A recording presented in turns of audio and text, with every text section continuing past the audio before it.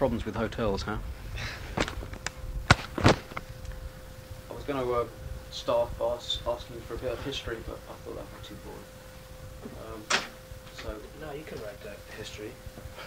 So, I mean, you can say stuff about the history.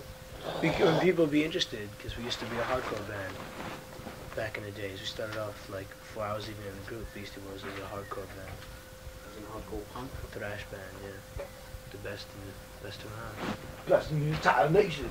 fastest, best band we in were never the fastest. We were the fastest for a couple of weeks till those other till the mob started. along. Till the mob and Crucial Marsh. But we were all the best, fastest band.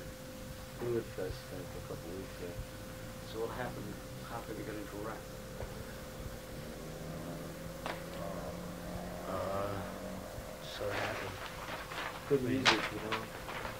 And The whole concept of a white rap band seems to be like flying in the face of everything you expect a rap band to be. we're yeah. not, we're not really, Well, we figured, you know. we're not really what you'd expect to be a rap band anyway. Oh, that's I mean, what people think of like rap music, we're not really like that.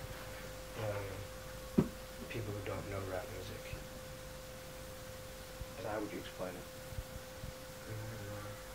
Explain us. Yeah. Define. So, like, what are you trying to say? How would you describe it?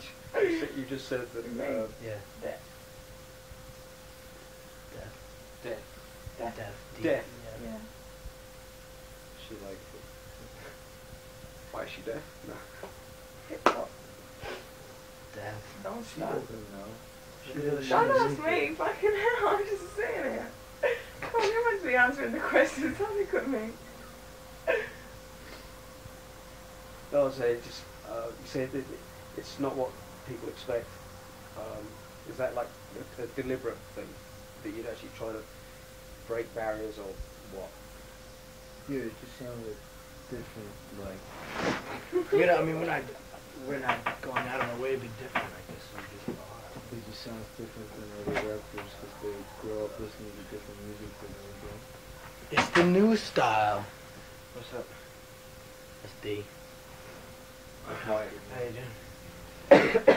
We're, we're, we're deep into kind of um, deep philosophical explanations of how, like why, and what.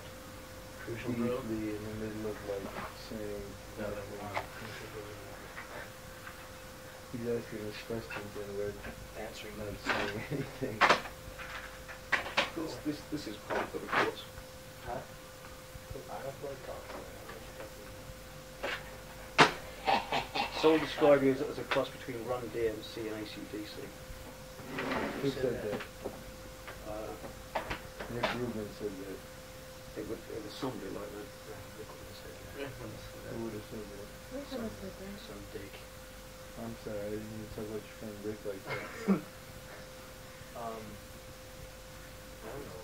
I don't know about that. I mean, Run DMC are just are, are doing rap and, and rock and roll from one direction. We're doing it from another. They're doing it from, from being b-boys. We're doing it from like listening to rock music. You know what I'm saying? They make a combination of them. kind of like rap music like Run DMC and rock music like ACDC, and then we kind of combine them and we get our own sound, which is It's kinda actually like- a combination of ACDC and Run DMC. It's kind of like, it's kind of like a combination platter, you know, maybe like beef and chicken curry pasty. You know what I mean? Exactly. But instead of being like the Indian guy, It's we're like, like as the if you English wanted guy. to buy a kebab and like the guy had Kebab. like pizza on a skewer. and it was like pizza kebab. That's like what our music is. When the cheese drip off. Yeah, well that's what Yeah, our- but then see, it'd be okay because like you know how all the grease on the kebab just. So our music droops is like to the pizza thing? crust on a stick being cooked. Have you ever had pizza in a cup before? But put it this way, if you went in to buy a kebab on a stick and came out with a pizza, at your first bite, wouldn't you think, hang on, this isn't what I ordered, this isn't what I wanted.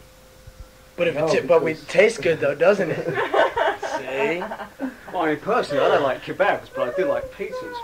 So Oh, I don't so have that'd but you never had the a pizza kebab, have you, like though? that. No, Probably go to the pizza kebab spot at 5 a.m. every night. Have you ever had a pizza kebab in a cup?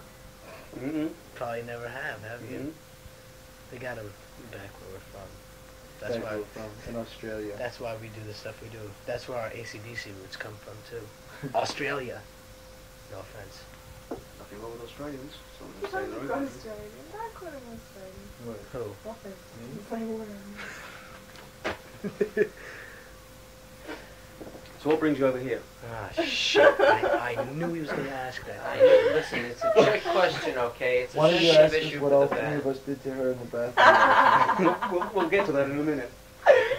No, we won't. This this is this is the next question I had lined up for you, but I thought we we we tackle what we're doing over here first. We played two gigs at the Hammersmith Odeon. we took you to Hammersmith Odeon and one gig at a club called Delirium. Uh, uh, located in the Otherwise old Astoria Theater, where right on have, uh, Charing Cross Road, and if all you kids want to Mike come D down, spent a lot of time there. Didn't you go? I wasn't wasn't even invited. Oh. Wasn't even invited. didn't it was happening. Oh. Who doesn't even- we would have invited you. Who if dissed you like that? We just, who Why didn't you call us up, man, and tell us you were, you know, down to come to the show? We would have given you something.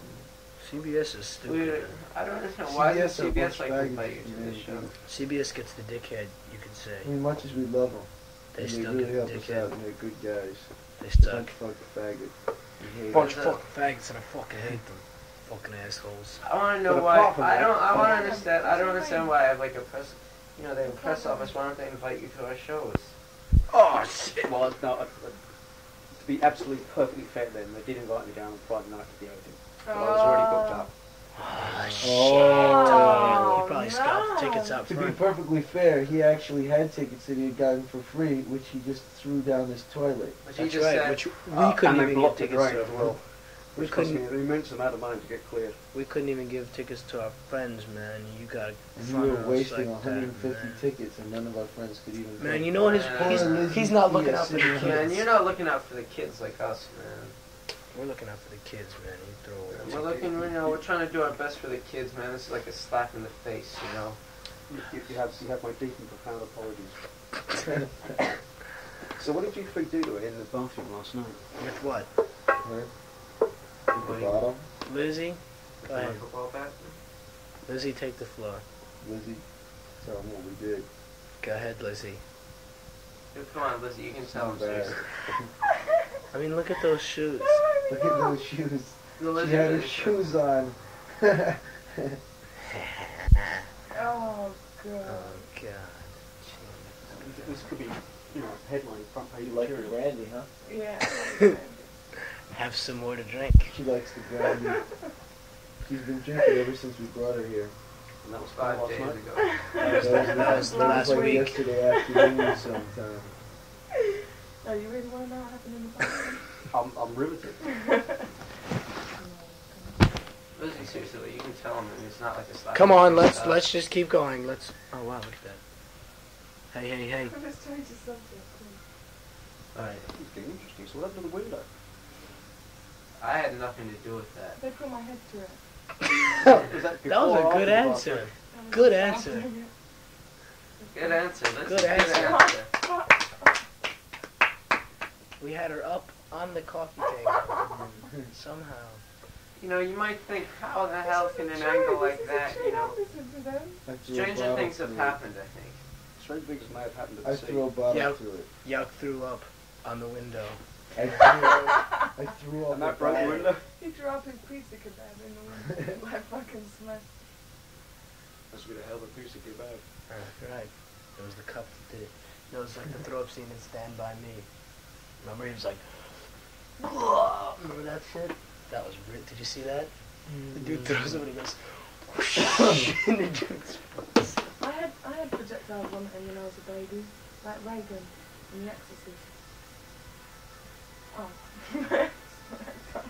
Come on, no, no, carry on. We're all No, we fascinated. are, we are ready for the punchline there, Lizzie. And it just didn't happen. I hate people who tell jokes without a punchline.